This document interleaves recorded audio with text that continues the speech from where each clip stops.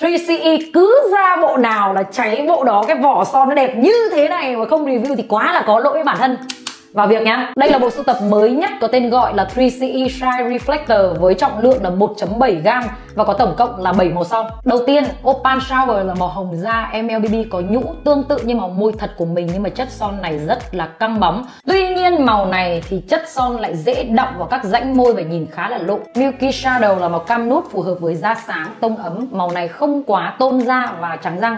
Nhược điểm thì cũng giống như màu Opal Shower dễ bị đọng vào rãnh môi. Lilac Glaze là một màu hồng khô cực kỳ đẹp và rất là trend trong năm nay.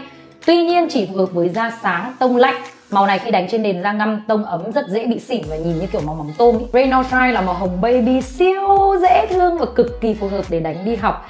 Chất son này khi đánh lên có cảm giác hơi the mắt nhẹ ở trên môi. Soft Test là một màu cam đào MLB cực kỳ đẹp và tiểu thư. Màu này sẽ rất là phù hợp đối với những bạn nào da sáng, tông ấm hoặc là có make up kỹ càng nhé. Codes là màu đỏ mận tím sang chảnh, tôn da và rất là trắng răng. Son này có độ dưỡng cao nhưng theo mình thấy rằng lên màu khá là tốt. Nectar chắc chắn sẽ là màu hot nhất trong cả bộ sưu tập. Một màu nâu đỏ ánh cam phù hợp với đại đa số da tông ấm, từ da sáng đến da ngăm đánh đều đẹp. Và đặc biệt là đối với bộ sưu tập này thì chất son sẽ lên đẹp nhất đối với những màu đậm nha. Tổng quan lại với ưu điểm của chất son này thì mình thấy rằng rất là bóng đẹp, có độ phản chiếu ánh sáng cực kỳ cao. Nhìn đôi môi như một miếng thạch rất là căng mịn. Dù là chất son meo trình bam nhưng mà không hề bị quá chảy Độ dưỡng ẩm siêu cao cuối ngày tẩy trang thì thấy môi rất là mềm mịn và không hề bị khô. Về nhược điểm ấy, độ bám của son này chỉ được cỡ một tầm 2 tiếng thôi và không hề có lớp tin. Khi uống nước thì dây dính ra thành ly khá là nhiều và khi ăn thì gần như là trôi sạch.